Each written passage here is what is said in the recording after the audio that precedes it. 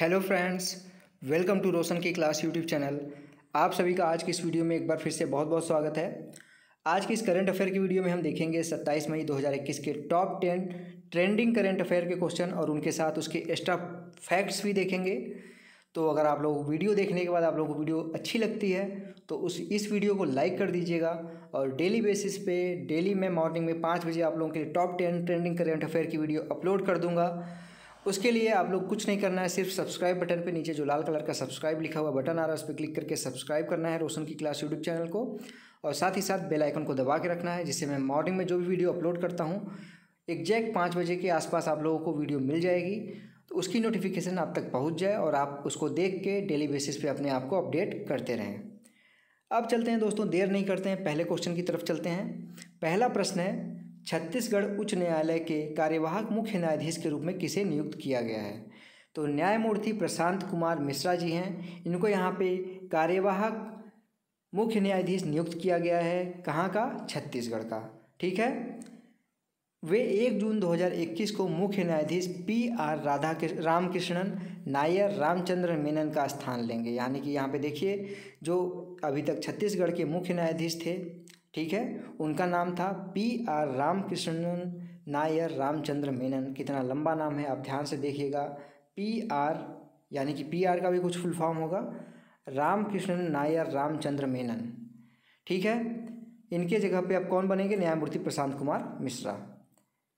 हाल ही में किसे सीबीआई के नए निदेशक के रूप में नियुक्त किया गया है?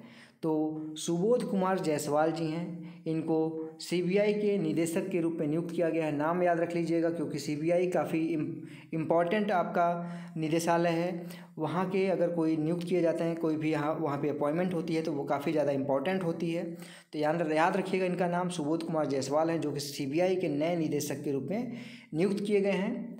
महाराष्ट्र कैडर के उन्नीस सौ पचासी बैच के अधिकारी, वर्तमान में केंद्रीय औद्योगिकी सुरक्षा बल यानी कि सीआईएसएफ के महानिदेशक के रूप में ये कार्यरत थे। सुबोध कुमार जायसवाल के बारे में पूछ सकता है कि सीबीआई के जो निदेशक बने, इसके पहले वो कहाँ पे कार्यरत थे? तो सीआईएसएफ के महानिदेशक थे ये। सीबीआई का फुल फॉर्म है सेंट्रल ब्यूरो ऑफ़ इन्वेस्टिगेशन। स्थापना एक अप्रैल उन्नीस को की गई थी। मुख्यालय नई दिल्ली में है। और किसके अंतर्गत आता है? किस मंत्रालय के? कार्मिक लोक शिकायत और पेंशन मंत्रालय के अंतर्गत आता है ये। सीआईएसएफ के बारे में देखा जाए तो सीआईएसएफ का फुल फॉर्म है सेंट्रल इंडस्ट्रियल सिक्योरिटी फोर्स आपने देखा होगा मेट्रो में अगर कहीं गए हैं या फिर किसी भी एयरपोर्ट पे गए हैं तो वहाँ की जो सिक्योरिटी होती है वो सीआईएसएफ के लोग करते हैं। तो यहाँ पे इंडस्ट्रियल जो सिक्योरिटी होती है, वो सेंट्रल इंडस्ट्रियल सिक्योरिटी फोर्स करती है। स्थापना 10 मार्च उन्नीस सौ उनहत्तर को हुई थी, मुख्यालय नई दिल्ली में ही है और गृह मंत्रालय के अंतर्गत आता है, जो गृह मंत्री हमारे प्रेजेंट टाइम में अमित शाह जी हैं। तीसरा प्रश्न है, किस बैंक ने अपने एनआरआई ग्राहक वर्ग को ऑनलाइन खाता खोलने की सुविधा देने वाला पहला स्मॉल फाइनेंस बैंक बन गया है? तो इस बैंक का नाम है इक्विटास स्मॉल फाइनेंस बैंक याद रखिएगा नाम। इस इक्विटास स्मॉल फाइनेंस बैंक है। यह स्मॉल फाइनेंस बैंक क्षेत्र में टाइम जोन के आधार पर वर्चुअल रिलेशनशिप मैनेजर रखने वाला एकमात्र बैंक बन गया है। खाता खोलने के की जो ऑनलाइन प्रक्रिया है, वो स्मार्टफ़ोन या फिर इंटरनेट से जुड़े कंप्यूटर के माध्यम से की जा सकती है। Equitas fine small finance bank की स्थापना हुई है 2016 में। मुख्यालय चेन्नई में है और एमडी और सीईओ हैं प्रेजेंट टाइम में इक्विटास स्मॉल फाइनेंस बैंक के वसुदेवन पी ठीक है? बढ़ते हैं चौथे क्वेश्चन की तरफ़, चौथा प्रश्न है, यहाँ पे देखिएगा ध्यान से। चौथा प्रश्न है, सतत विकास के लिए, सतत विकास के लिए शिक्षा पर 2021 यूनेस्को विश्व सम्मेलन में school of hope and empowerment S H E के शुभारंभ की घोषणा किसने की है? तो टाटा कम्युनिकेशन ने यहाँ पे इसकी घोषणा की है। एक बहुमीडिया, बहुहितकारी, हितधारक, प्रभाव संचार पहल एस एच ई को द वेदर इंडिया के साथ इसने मिलकर तैयार किया है। यह भारत के छोटे शहरों की महिलाओं को समर्थन देगा तथा उनको शिक्षित करेगा। ठीक है दोस्तों, अब बढ़ते हैं आगे की तरफ़। अगला है क्वेश्चन पाँचवा। Target Olympic podium scheme T O P S TOPS काफ़ी बार आपने टॉप्स का नाम सुना होगा, उसका फुल फॉर्म होता है टारगेट ओलंपिक पोडियम स्कीम, के कोर ग्रुप में कितने खिलाड़ी को शामिल किया गया है? तो पाँच खिलाड़ियों को शामिल किया गया है टॉप्स में। टॉप्स के कोर ग्रुप में शामिल खिलाड़ी हैं, टेनिस खिलाड़ी अंकिता रैना रोवर्स अर्जुन लाल जाट, अरविंद सिंह और पहलवान सीमा बिस्ला और सुमित मलिक जी यहाँ पे पाँच खिलाड़ी हैं जो कि ओलंपिक के कोर ग्रुप यहाँ पे जो भारत का बनाया गया target Olympic podium scheme TOPS उसमें शामिल हुए हैं कोर कोर कमेटी में। ओलंपिक और पैरालंपिक में भारत के प्रदर्शन को बेहतर बनाने के लिए युवा मामले और खेल मंत्रालय ने 2014 में ओलंपिक पोडियम स्कीम शुरू की थी, यानी कि टॉप्स की जो शुरुआत हुई थी 2014 में हुई थी। युवा मामले और खेल खेल मंत्री हैं किरेन रिजिजू याद रखिएगा, किरेन रिजिजू, ये है हमारे युवा और खेल मंत्रालय के मंत्री। अगली क्वेश्चन यहाँ पे अगला प्रश्न है, पुस्तक India of Asian geopolitics the past present किसने लिखा है? तो नाम रखिए, याद रखिएगा सबसे पहले, India and Asian geopolitics the past present. ये लिखा है शिव करण शिव शंकर मेनन ने। शिव शंकर मेनन जी ने इस किताब को लिखा है। पुस्तक का पहला भाग जो है अधिक ऐतिहासिक है, मोटे तौर पर उपनिवेशवाद से वैश्वीकरण तक के बारे में इसमें दर्शाया गया है और दूसरा जो भाग है, दो भागों में ये किताब लिखी गई है। दूसरा जो भाग है, समकालीन एशिया को दिखाता है। अनिवार्य रूप से चीन और अन्य लोगों के साथ विशेष रूप से जो भारत के संबंध थे उसको, उसके ऊपर ये प्रकाश डालता है। शिवशंकर मेनन जी ने इस किताब को लिखा है, याद रखिएगा। सातवां क्वेश्चन है, किसे वियना स्थित इंटरनेशनल नारकोटिक्स कंट्रोल बोर्ड यानी कि आईएनसीबी के अध्यक्ष के रूप में नियुक्त किया गया है। आपको पता है कि भारत में एन काम करता है, लेकिन अंतर्राष्ट्रीय मामलों में इंटरनेशनल नारकोटिक्स कंट्रोल बोर्ड काम करता है। तो यहाँ पे जगजीत पवाड़िया जी बनी हैं आईएनसीबी की अध्यक्ष। ये भारतीय राजस्व सेवा, यानी कि सीमा शुल्क की एक सेवानिवृत्त अधिकारी हैं और भारत की पूर्व नारकोटिक्स कमिश्नर भी ये रह चुकी हैं जगजीत जगजीत पवाड़िया। यह पहली बार है कि जब कोई भारतीय आईएनसीबी का नेतृत्व कर रहा है और काफ़ी गर्व की बात है ये। आईएनसीबी के इतिहास में दूसरी महिला इसका नेतृत्व करने जा रही हैं। यानी कि इसके पहले एक महिला आईएनसीबी की अध्यक्ष बन चुकी हैं। ये दूसरी महिला हैं जो आईएनसीबी की अध्यक्ष बन रही हैं।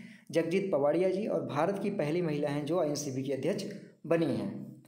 आईएनसीबी के बारे में देखते हैं। आईएनसीबी का फुल फॉर्म है इंटरनेशनल नारकोटिक्स कंट्रोल बोर्ड इसकी स्थापना उन्नीस सौ अड़सठ में की गई थी। कहाँ पे स्थित है? मुख्यालय है वियना, ऑस्ट्रिया में। आठवां क्वेश्चन है, हाल ही में किसे पंद्रहवीं केरल विधानसभा के अध्यक्ष के रूप में चुना गया है? तो पंद्रहवीं विधानसभा जो केरल की अभी चुनाव हुआ था, उसके अध्यक्ष चुने गए हैं विधानसभा के एम वी राजेश। इनको 140 सदस्यीय विधानसभा में छियानवे विधायकों का समर्थन प्राप्त हुआ। यह पलक्कड़ ज़िले के त्रिथाला निर्वाचन क्षेत्र से चुने गए। राजेश का विधानसभा में पहला कार्यकाल है, यानी कि पहली बार ये जीत के गए हैं। और इन्होंने हराया है कांग्रेस के विधायक वी टी बलराम जी को। पहली ही बार में ये विधानसभा अध्यक्ष बन गए हैं। M V Rajesh. नवा क्वेश्चन है, अंतर्राष्ट्रीय वित्तीय सेवा केंद्र प्राधिकरण आईएफएससीए ने अपनी किसकी अध्यक्षता में निवेश कोष पर एक विशेष समिति का गठन किया है? तो नीलेश शाह जी हैं, Kotak Mahindra asset management company limited के प्रबंधक प्रबंधक निदेशक हैं, यानी कि एमडी हैं। समिति अंतर्राष्ट्रीय वित्तीय सेवा केंद्रों आई एफ़ में फंड उद्योग के रोडमैप पर प्राधिकरण की सिफारिश करेगा। आई एफ़ एस सी यानी कि international financial services centre authority का जो यहाँ पर स्थापना किया गया था, सत्ताईस अप्रैल 2020 को किया गया था, मुख्यालय गिफ्ट सिटी, गांधीनगर, गुजरात में है। बढ़ते हैं आज के दसवें प्रश्न की तरफ़। दसवां प्रश्न है, किस राज्य सरकार ने अंकुर योजना की शुरुआत की है? तो अंकुर योजना की शुरुआत की है मध्य प्रदेश राज्य सरकार ने। काफ़ी अच्छा यहाँ पे ये योजना के अंतर्गत काफ़ी अच्छे कार्य किए जा रहे हैं। अंकुर योजना के तहत नागरिकों को मानसून के दौरान पेड़ लगाने के लिए सम्मानित किया जाएगा। तो काफ़ी अच्छी बात है, अगर किसी को आप पेड़ लगाने के लिए सम्मानित करते हैं तो काफ़ी ज़्यादा से ज़्यादा लोग आगे आएँगे पेड़ लगाने के लिए, जो कि काफ़ी नेचुरल, नेचर के लिए काफ़ी अच्छी बात है। जो वृक्ष रोपण अभियान में भाग लेना चाहते हैं, वो वायुदूत ऐप है, याद रखिएगा, ऐप का नाम है वायुदूत वायुदूत ऐप पर अपना पंजीकरण कर सकते हैं। मुख्यमंत्री हैं यहाँ पे मध्य प्रदेश के शिवराज सिंह चौहान जी और राज्यपाल हैं आनंदीबेन पटेल जी, जो कि उत्तर प्रदेश की भी राज्यपाल हैं। अब दोस्तों, आज का प्रश्न है, आज का प्रश्न का आपको आंसर देना है। हाल ही में किसने मोनाको ग्रैंड प्रिक्स का जो टूर्नामेंट का विजेता कौन बना है? यहाँ पे आपके ऑप्शन है, Carlos Sainz, Lando Norris, Max Verstappen और लुइस हैमिल्टन। आपको सही आंसर इसका कमेंट बॉक्स में बताना है, अगर आप लोगों को कमेंट इसका आंसर देखना है तो कल वीडियो के लास्ट में मैं इसका आंसर बताऊँगा। जैसे कि आज मैं आप लोगों को अब कल के क्वेश्चन पूछे गए प्रश्न का आंसर बताने वाला हूँ। कल का प्रश्न था, ओटावा किस देश की राजधानी है? तो कनाडा, यानी कि कनाडा की राजधानी है ओटावा। यह उत्तरी अमेरिका का एक देश है, जिसमें दस प्रांत और तीन केंद्र शासित प्रदेश हैं। कनाडा महाद्वीप के उत्तरी भाग में स्थित है। जो अटलांटिक से प्रशांत महासागर तक और उत्तर के आर्कटिक महासागर तक फैला हुआ है। प्रधानमंत्री हैं कनाडा के जस्टिन टूड्रो और मुद्रा है कैनेडियन डॉलर। तो दोस्तों, आज की वीडियो में इतना ही। टॉप टेन करंट अफेयर की वीडियो यहाँ पे समाप्त होती है। अगर आप लोगों को इस वीडियो की पीडीएफ चाहिए तो नीचे डिस्क्रिप्शन बॉक्स में मैं लिंक दे दूँगा, वहाँ से जाके आप डाउनलोड कर सकते हैं। और अगर आप लोगों को कोई भी इसके अलावा किसी भी टॉपिक पे आप लोगों को U P TET, super TET, C TET, railway या फिर बैंकिंग से रिलेटेड किसी भी टॉपिक को आपको पढ़ना है तो नीचे कमेंट बॉक्स में आप कमेंट कर सकते हैं। अगर आप लोगों को ये वीडियो पसंद आई तो प्लीज़ इस वीडियो को लाइक ज़रूर करिएगा और डेली बेसिस में मॉर्निंग में टॉप टेन करंट अफेयर की वीडियो देखने के लिए रोशन की क्लास यूट्यूब चैनल को सब्सक्राइब करना मत भूलिए। जैसे ही सब्सक्राइब करेंगे, एक बेल आइकन आएगा, यानी कि घंटी का निशान आएगा, उसको दबा के ऑल नोटिफिकेशन ऑन कर लीजिएगा। तो फ्रेंड्स, मिलते हैं नेक्स्ट वीडियो में, तब तक के लिए आप लोगों का बहुत बहुत धन्यवाद। जय हिंद, वंदे मातरम।